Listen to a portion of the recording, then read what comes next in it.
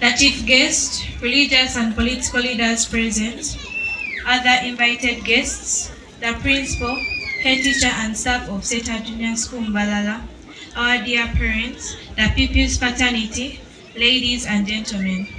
My name is Nabirye Sheila Kafko, the president of Seeta Junior School Mbalala for the year 2024 to 2025.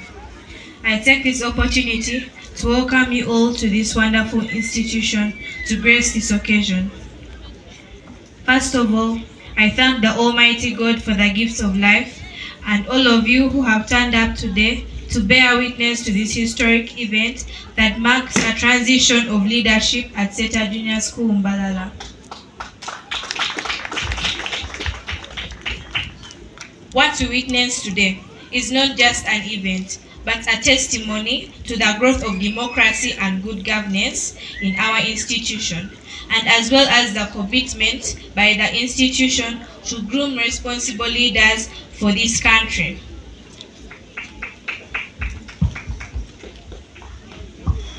We, the young leaders, are very proud of Seeta Junior School Mbalala for nurturing our leadership skills. Thank you, dear head teacher and staff for this noble job. To the pupils of Seeta Junior School Mbalala, my voters, I salute you. You are the reason I stand here today. Thank you for entrusting me with this huge responsibility of leading you. You made me who I am today, and I pledge to sincerely serve you. I will ensure as I will serve as a bridge between you and the school administration to ensure that this school is turned into a develop a better place for all of you and to help in the development of a whole child. To our parents, you have been and still are part of our success story. You encouraged us, you supported us, you prayed for us, others even fasted for us to win the elections. God had you and here we are, the leaders of this great school. Thank you, dear parents, especially my very own dear parents. Honorable Kisa Stephen, MP Luuka South Constituency, and Miss Nangendo Sophie Kisa. If you are not mean, you may clap for them.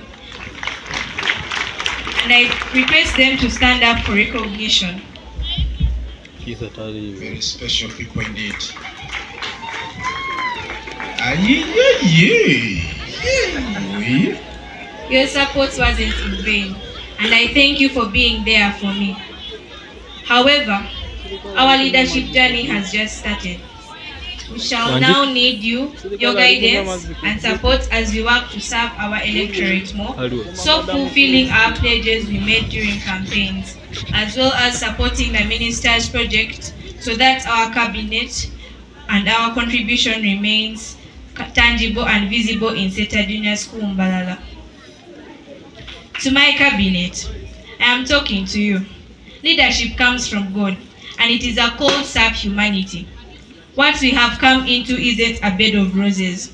It is a responsibility and dedicated servanthood. Let's serve the interests of those who put us in these offices. Let us fulfill our pledges and as well support the school in achieving its mission, vision, and core values. Your support towards the Minister's project is paramount to its success. This leadership is a leadership of action. And I, and I say this one more time. If anyone feels not ready to serve, better resign now. We shall not need leaders who only work for the better of themselves. And like I said, this is a call to serve, not to be served. Therefore, let us dedicate all our time to serving the interests of our voters and those of the school, but not our personal interests. Your Excellency, the outgoing President and your Cabinet, your service has been remarkable.